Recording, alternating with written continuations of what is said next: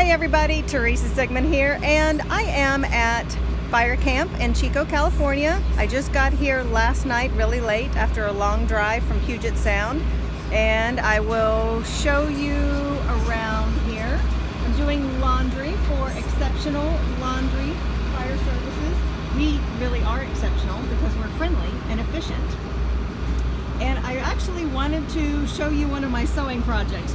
So one of the firefighters from um, Boise, Idaho said that he accidentally pulled off the embroidery and so he was B-O-E and everybody was calling him Boy. So I am in the process of ripping off the rest of the embroidery here so that um, people don't keep calling him Boy. And I'm using my very sharp pocket knife as a seam ripper. So anyway, that's it. I just wanted to share my little sewing project with you. I'll keep you posted on Fire Camp later. Bye.